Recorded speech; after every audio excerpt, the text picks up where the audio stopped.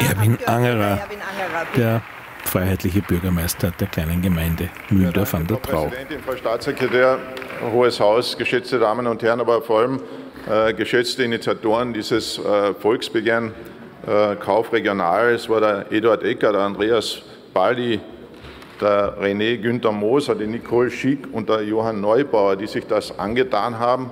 Und 145.000 Menschen haben dieses Volksbegehren unterstützt. Und was was erwarten sich, was erwarten sich diese 145.000 Menschen jetzt und äh, was tut die Politik? Das driftet etwas auseinander, weil diese Menschen haben ein gutes Gespür. Die spüren, da stimmt was nicht am Markt und die wollen, dass, das, dass die Politik hier eingreift. Was tut die Politik? Wenn ich jetzt den Reden gelauscht habe von der ÖVP, Sie sind ja eher desinteressiert an diesem Thema, wie man sieht. Ähm, es ist nachvollziehbar, war die Aussage von Herrn Kollegen von der ÖVP, äh, äh, die, jeder selbst kann dazu beitragen durch seinen Einkauf. Die NEOS haben gemeint, das kann man nur international lösen. Die Grünen interessiert sowieso nicht. Also es ist ein Abschieben der Verantwortung. Es ist ein Abschieben eurer Verantwortung. Es ist ein Abschieben eurer Verantwortung. Ihr wollt nichts tun. Ihr seid, ihr seid die Konzernvertreter und ihr bleibt die Konzernvertreter in diesem Land. Und diese Politik ist ja eine Folge eurer Politik aus den letzten Jahren. Die Nahversorger in unseren in unseren Städten, in unseren Gemeinden haben wir alle schon zugesperrt. Egal, ob es der Bäcker ist, ob es der, der Fleischer ist, ob es die Kaufhäuser sind, die Klein- und Mittelbetriebe. Wir haben ja schon alle zugesperrt.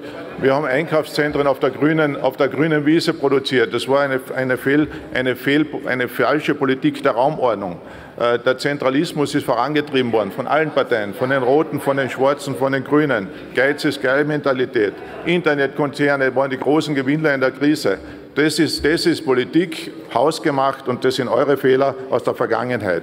Und in der Landwirtschaft schaut es gleich aus. Was habt ihr in der Landwirtschaft angebracht? Die Bauernpartei.